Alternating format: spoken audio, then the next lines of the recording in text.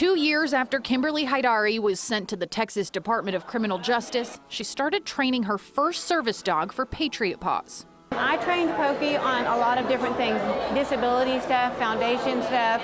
Um, Pokey's an outstanding young man. Haidari says the experience hasn't only given her a companion during her time in prison, it's also given her a new perspective. Coming into the program, I was such a selfish person, and coming out of the program, I've changed my life. I've changed the way I think of things. I've changed the way that I think of other people. Saying goodbye to her furry best friend is never easy, but Kimberly says it's worth it.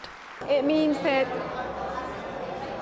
my purpose here succeeded that I've succeeded in what I was supposed to do.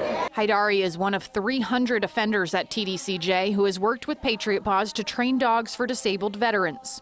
We've seen offenders who were otherwise so introverted, uh, they'd never had any self confidence, they uh, maybe came out of abusive relationships. We're able to put those in this program and give them a sense of accomplishment because some, that's something that a lot of these ladies have never had.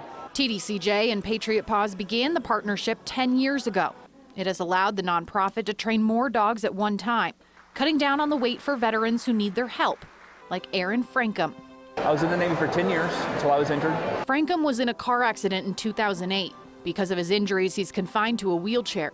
Thanks to Patriot Paws' service dog Ben, Aaron was able to maintain most of his independence. He was able to get things for me when I lose them because I'm scatterbrained. So if I leave my phone somewhere, he can go get it and uh, just perform those activities of daily living that seem easy, but once you're in a chair, they become a little more difficult. But Ben passed away in 2016. So Patriot Paws set Aaron up with a new pup. Pokey chose me last week, yeah.